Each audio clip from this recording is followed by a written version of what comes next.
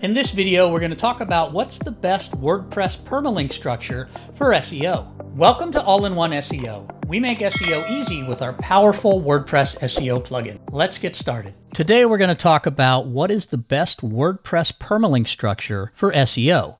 But before we do that, I want to define what a permalink is. A permalink in the WordPress world is simply a URL. It is the public web address, the public URL that people can use to access your content. So if we look at the companion WordPress blog post to this video, entitled What's the Best WordPress Permalink Structure for SEO, we can see our permalink here, which is aioseo.com slash best dash WordPress dash permalink dash structure. The next thing we want to define is what is an SEO friendly URL. So, an SEO friendly URL is a URL that is easily understood by the search engines. And since Google is so heavily focused on the user experience, it is also a URL that is easily understood by people. So, if I click over onto this next tab here, we have an article from nature.com about China's different shades of greening. And you can see the URL here. This is not an SEO friendly URL.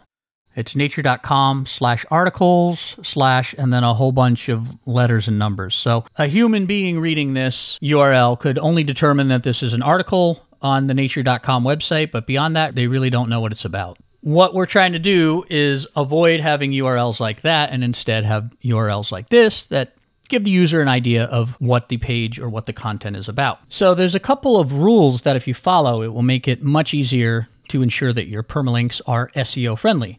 The first one is to use your keyword in your permalink. So in this example, we have a blog post about what's the best WordPress permalink structure for SEO. And up in our URL, you can see that we have our target keyword permalink structure as part of the URL. The second rule to follow is to not use dates in your URL. So in this example, I just opened up a new tab and I have the same title of the article, except now I added slash 2015 into the URL. This article is not from 2015, but if it was, and you were looking for information on WordPress permalink structure, you probably are going to be a lot less inclined to read an article from 2015. The easiest rule is don't use dates in the URL. Another rule that will help with search engine friendly permalinks is to use dashes in the links and not underscores. I just opened another new tab here, and if we look at this, this is the same URL, but now we have underscores instead of dashes.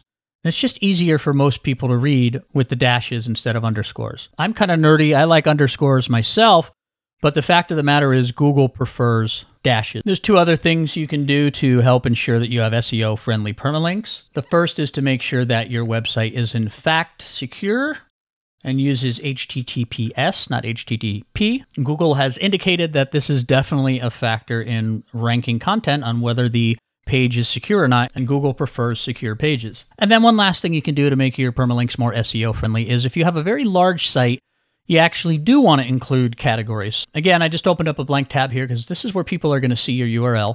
And let's say we have a, a big e commerce site like Amazon bigstoreexample.com, BlendJet. If you're not familiar with kitchen appliances and blenders, you might not know what the heck BlendJet is. In the second example here, we've added some categories. bigstoreexample.com slash kitchen slash appliances slash BlendJet.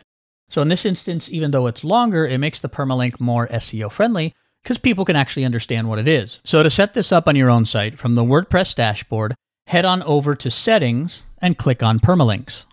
And here WordPress gives you several options for how you would like your permalinks to display. So given what we've talked about in the first part of this video, we can see that post name is probably the best option for having SEO friendly permalinks. The first example, plain, just has a P and a number doesn't tell anybody what the post is about. The second example has dates in it. The third example has dates in it. The fourth example is numeric. So, really, the fifth example is the way to go. If you have a large site, then perhaps custom structure is the way to go and you could add in categories. But for most cases, post name is the way to go. Now, since permalink is short for permanent links, this is not something you really want to change once you have a live site with lots of content out there. That being said, there are sometimes business needs that arise where for some reason you need to change this anyway. In that case, you can use the redirect feature of the AIO SEO plugin to redirect your old links to your new ones.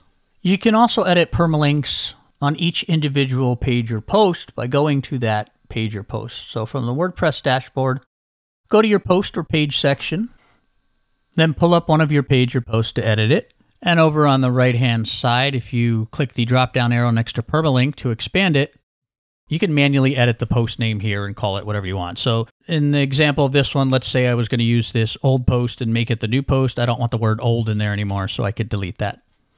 Click update and you're done.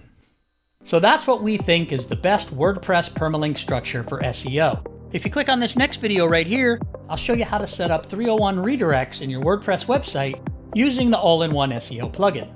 If you enjoyed this tutorial, go ahead and give it a like. And don't forget to subscribe to our channel for more tips and tricks on how to use our easy and powerful SEO WordPress plugin, All-in-One SEO.